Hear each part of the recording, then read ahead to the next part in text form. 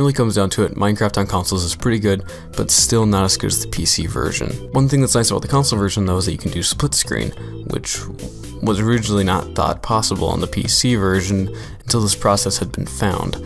So I'm going to show you how to do it right now. Okay, so you're going to need three files before you do anything. You're going to need Border Stripper, Joypad mod, whatever version of Minecraft you plan on playing, and Sizer.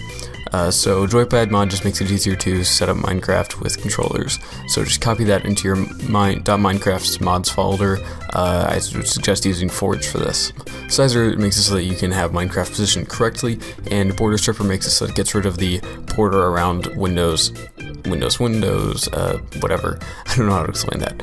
You're to need to open up two Minecraft games uh, with two different user accounts, uh, so you can't use the same login. You're to have to have two.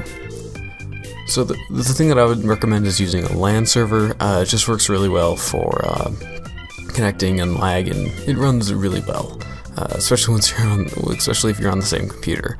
So uh, from this point, once you have both games open, you're going to want to make a sizer uh, configuration for both the top and bottom screen. You're going to need to know your monitor resolution for this part.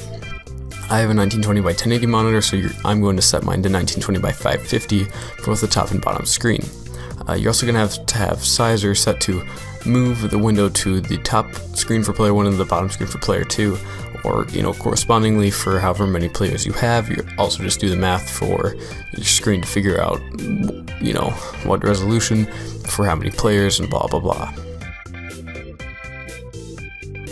so from here you're going to want to uh, remove the borders for both of the Minecraft games which is very simple. You just yeah that's it. Um, so at this point you're going to want to uh, alt tab to each of the Minecraft games and, figure out, oh, is this player 1 or player 2, and then you set it up correctly.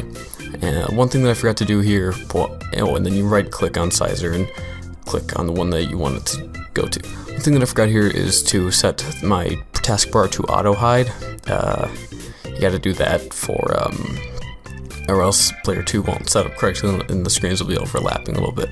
So then I had to redo uh, Sizer real quick, and then there you go. Uh, one quick note is that it's kind of difficult to set up the controllers to work. Uh, it took me a little bit. Um, you can also use, uh, you can have one player actually using a mouse and keyboard, and then everybody else can just use a controller.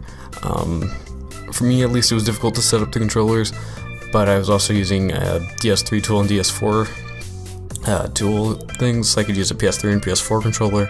If you just use standard gamepad controllers, uh, everything should work fine for you.